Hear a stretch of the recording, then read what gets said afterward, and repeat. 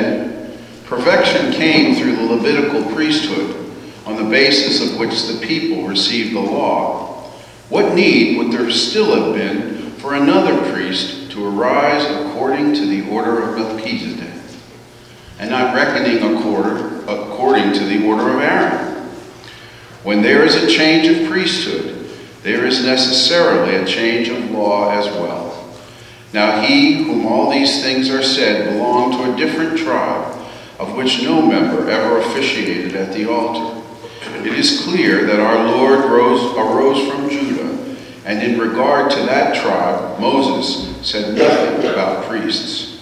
It is even more obvious if the priest is raised up after the likeness of Melchizedek, who has become so not by law expressed in the commandment concerning physical descent, but by the power of a life that cannot be destroyed.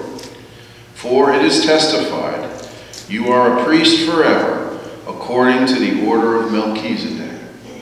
He came and preached peace to you who were far off, and peace to those who were near. For through him we both have access in one spirit to the Father. So then, you are no longer strangers and sojourners, but you are fellow citizens with the holy ones and members of the household of God, built upon the foundation of the apostles and prophets, with Christ Jesus himself as the capstone. Through him, the whole structure is held together and grows into a temple sacred in the Lord.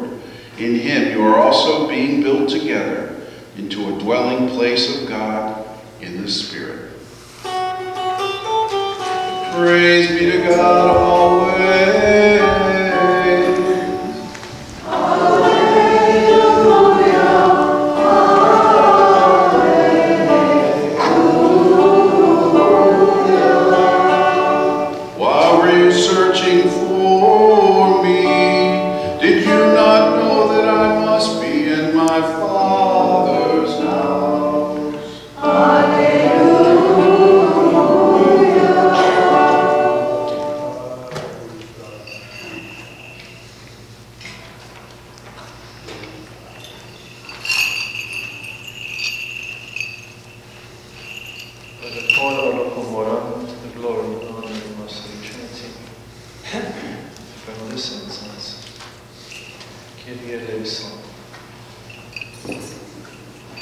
Before the proclamation of the gospel of our Savior announcing life for our souls, we offer this incense and ask for your mercy, O Lord.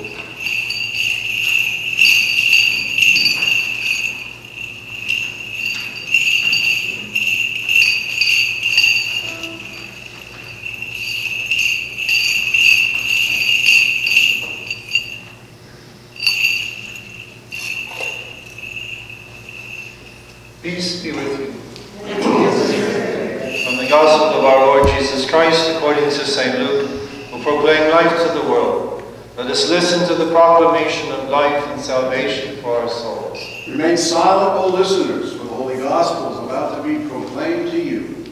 Listen and give glory and thanks to the Word of the living God. The evangelist Luke wrote, Each year his parents went to Jerusalem for the feast of the Passover.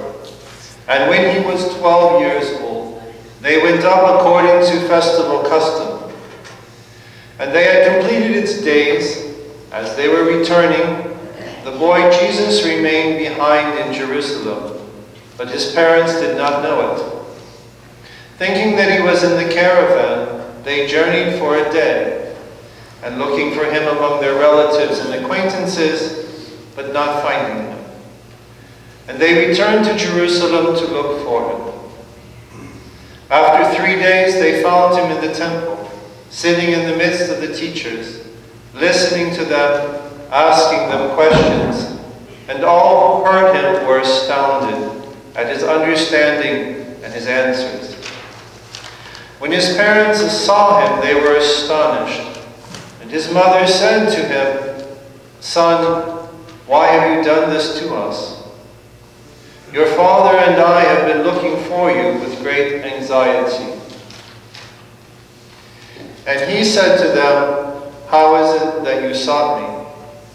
Did you not know that I must be in my father's house? But they did not understand what he said to them. He went down with them and came to Nazareth and was obedient to them. And his mother kept all these things in her heart. And Jesus advanced in wisdom and age and favor before God and man. This is the truth. Peace be with you.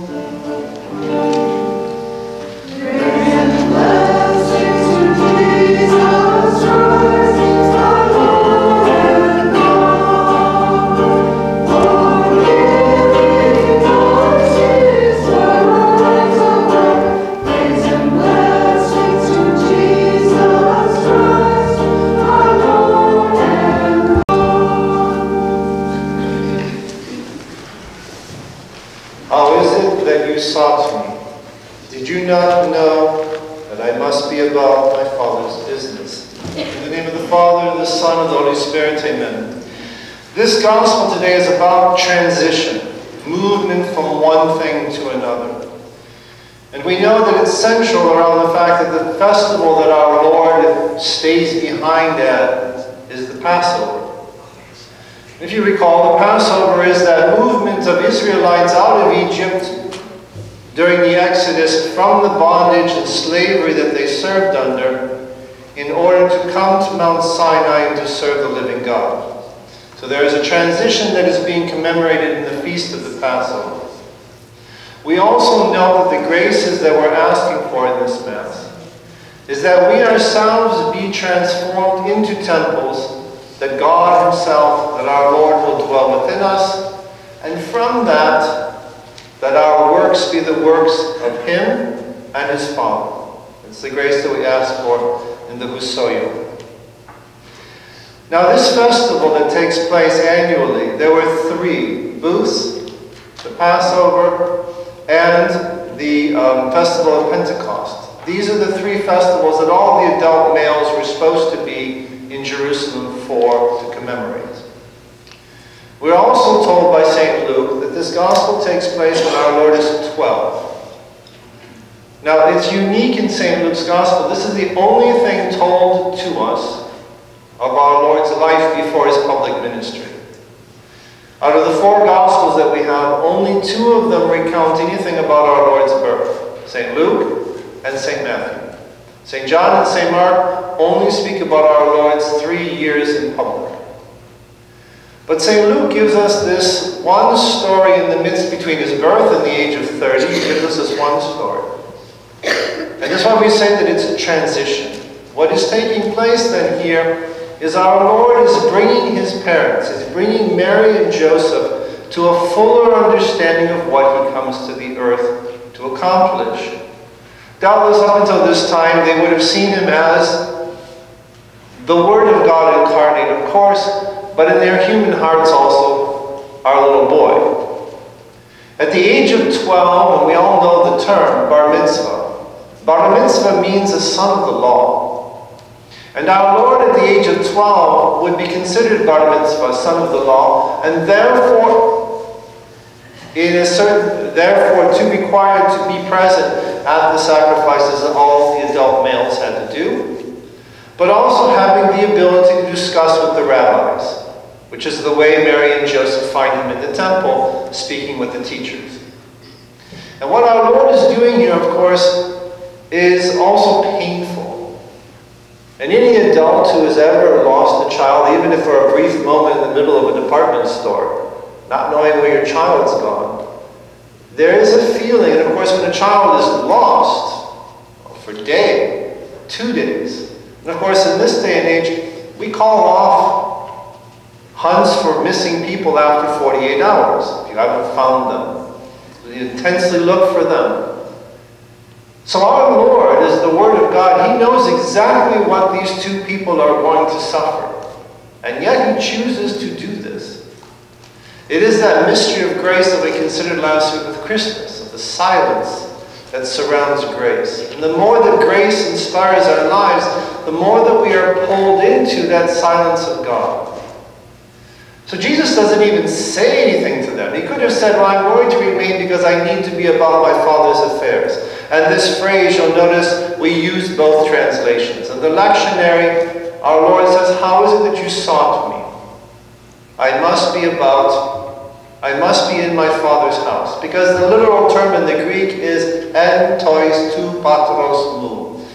It literally means among the things of my Father.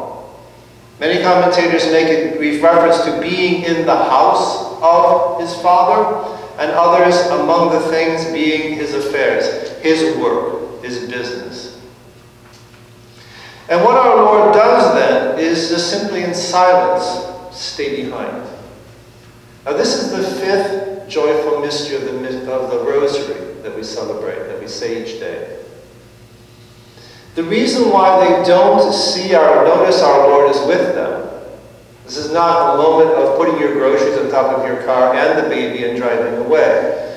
This is the fact that in a caravan, when they travel, the men travel together in the caravan and the women travel together in the caravan. Our Lord, being 12 and being bar mitzvah, could be traveling with his mother and the women as a 12 year old, or as bar mitzvah could be traveling with the men. So clearly what took place during the first day of their travels back to Nazareth is Joseph considered that he was with his mother.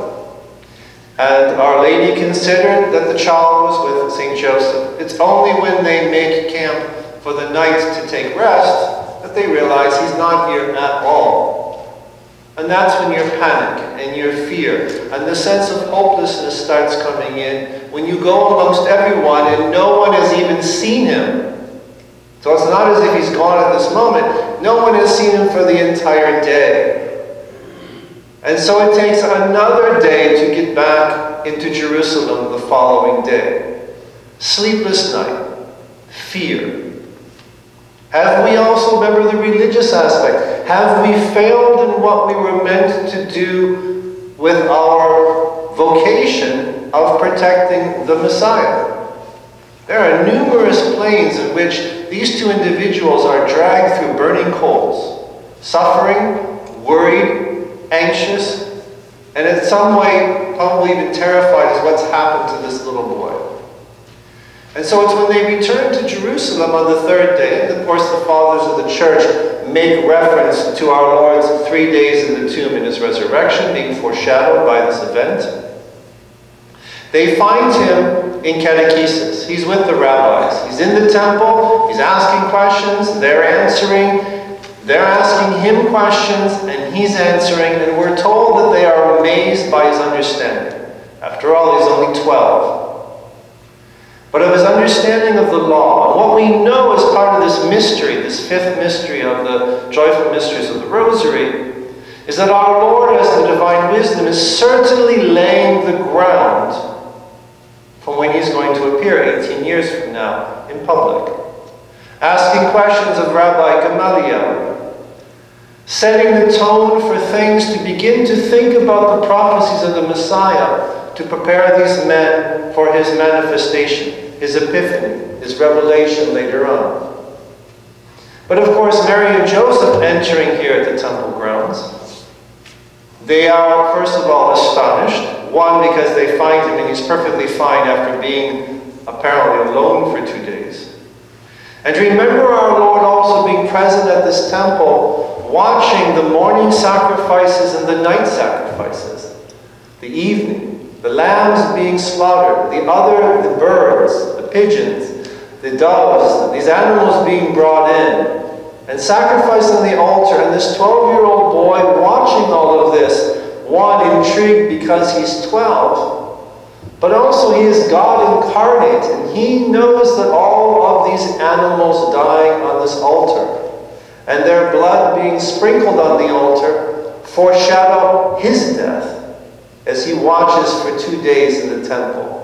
These things are only shadows announcing his arrival, his coming, his death.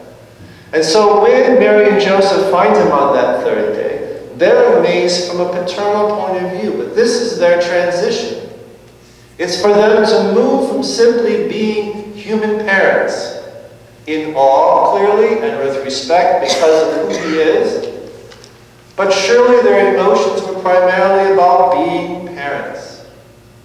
And he is reminding them that I came into this world not to be your baby, but to bring the redemption of the world. Which is why he asked them that question How is it that you sought me? What was the motivation in your seeking me out? Was it merely as a parents? Or was it something more profound?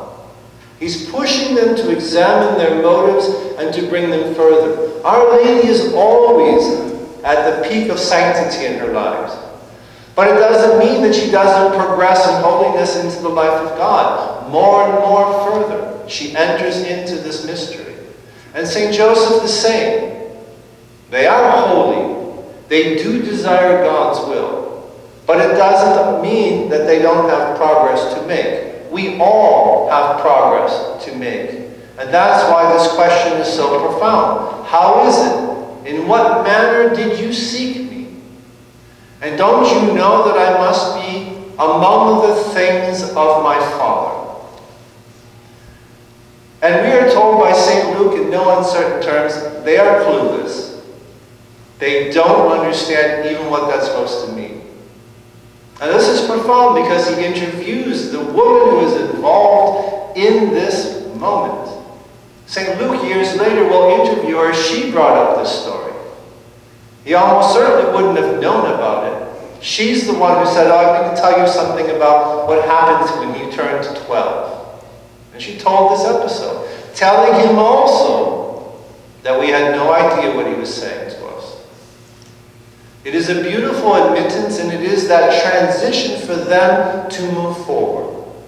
The transition is our Lord clearly from his infancy into his life, already beginning of what he means to do in his Father's works. And the transition for us is that last part of the story which is told. That he simply returns to Nazareth with them. And there he grows and he matures and he advances, we are told by St. Luke, in wisdom and age among both God and men. This is a fine young man. He is well liked in the community. He is known as the carpenter's son. But this transition is also taking place to remind us of the simplicity, the humility, and the ordinariness of his daily life for the next 18 years. Doubtless he was ordinary as a child for the first 12, and the next 18 we are told explicitly. Ordinary, common, straightforward, nothing exciting. That's most of our lives. But what we are told in transition is, is that ordinariness is not ordinary when grace is present. That ordinariness is meant to be transitioned to a life of God in which we ourselves become temples for that presence of the divine word. And that from that fullness of the divine life, our works are meant to be the works of Christ and of his Father. Transition is the key in this whole gospel that we contemplate. And hopefully, in our consideration this morning, there is a bit more that we can think on, reflect on, meditate on, when we come to that fifth joyful mystery of the Rosary, of the finding in the temple. And that God give us that ability to transit from the bondage of ordinariness to an ordinariness which is transformed by grace and holiness, so that we can truly become the temples of the Spirit of God, of the presence of the Word, of the glory of the Father, and then in charity and love accomplish those works that He desires from us. In the name of the Father, and of the Son, and of the Holy Spirit, amen.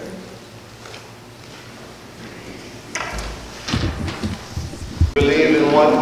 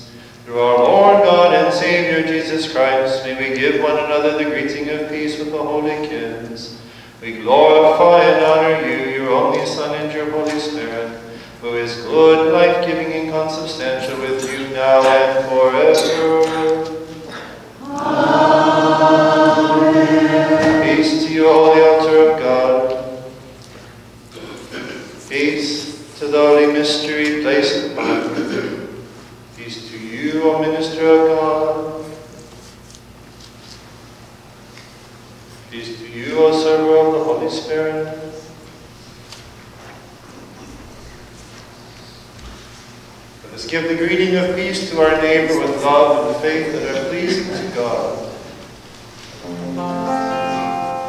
Peace.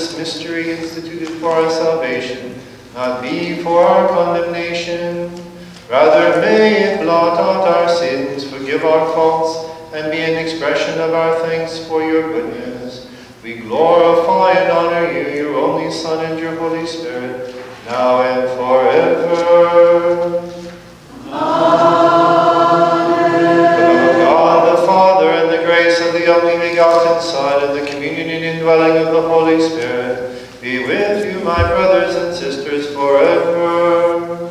And with those. Let us lift up our thoughts, our minds, and our hearts. We lift them up to the Lord. Let us give thanks to the Lord with reverence and worship him with humility.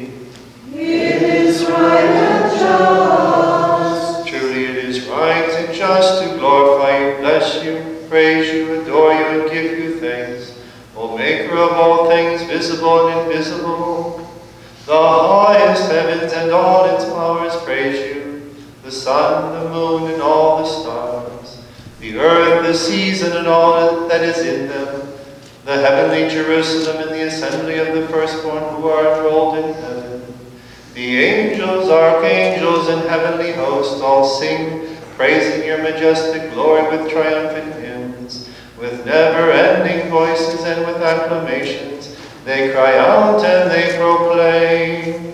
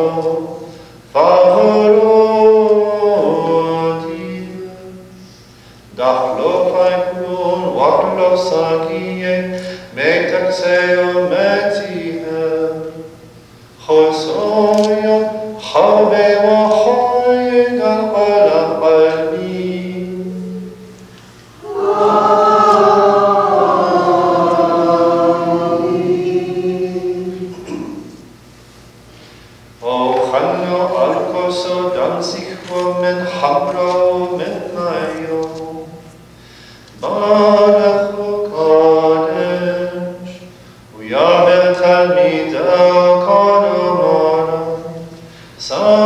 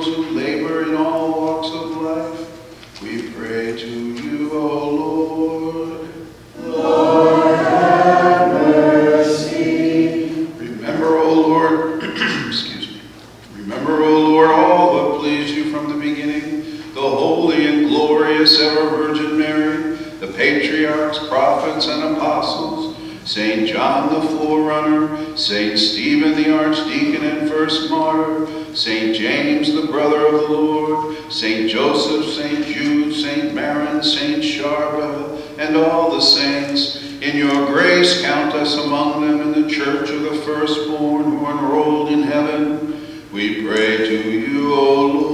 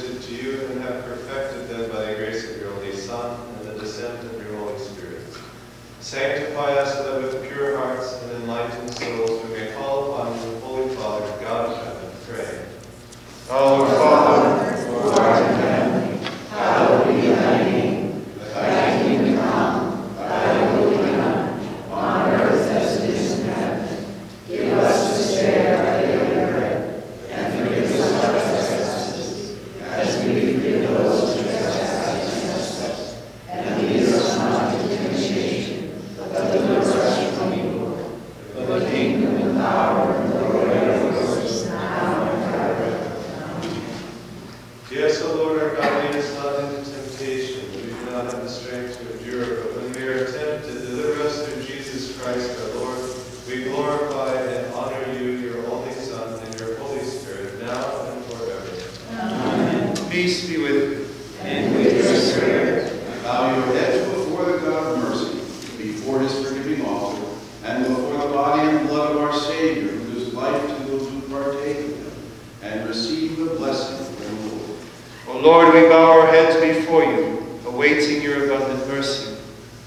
Send your blessings upon us and sanctify us, so that we may become worthy to share in your holy mysteries.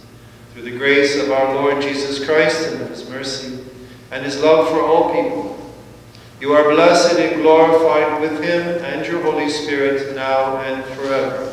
Amen. The grace of the most holy Trinity, eternal and consubstantial, be with you, my brothers and sisters, forever. Amen. God with reverence and humility and ask Him for mercy and compassion. Holy gifts for the holy, with perfection, purity, and sanctity. One Holy Father, one Holy Son, one Holy Spirit. Blessed be the name of the Lord, for He is one in heaven and earth. Amen.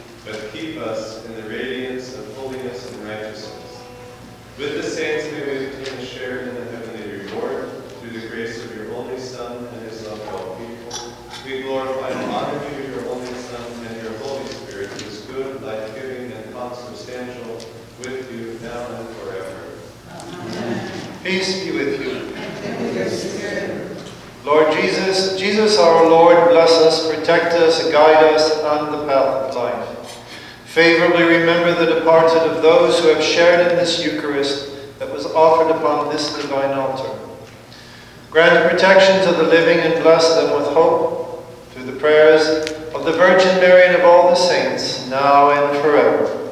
Amen.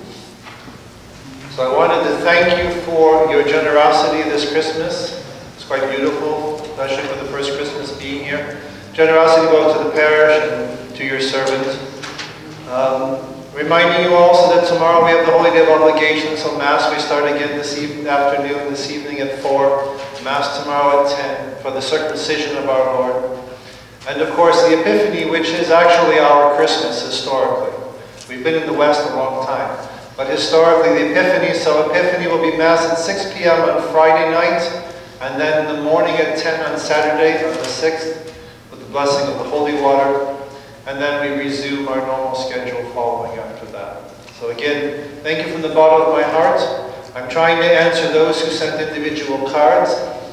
They're coming, especially this first year. I'm a terrible correspondent. I'll do the best I can. But again, thank you very much, and may God bless you with His choicest graces throughout this new year coming.